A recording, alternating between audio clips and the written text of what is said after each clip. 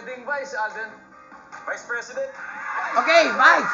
Survey says, Yes, the Vice President. Sanya.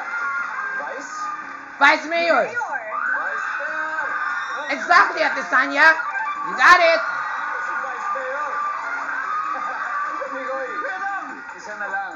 Migoy, Vice. Governor. Okay? Vice. Governor.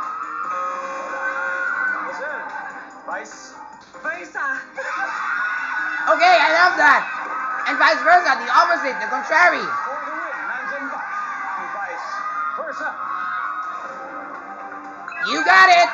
Vice versa. Pulang arrow lost, and Kuya Alden won. Yay!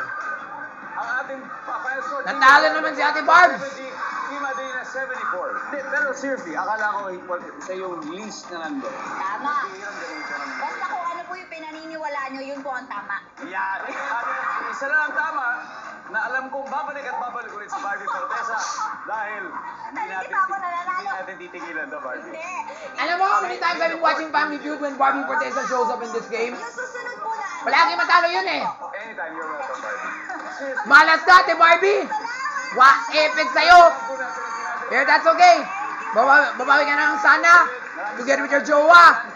Para as if it were a Barda. Barda. Ada. Barda Adas. Get it?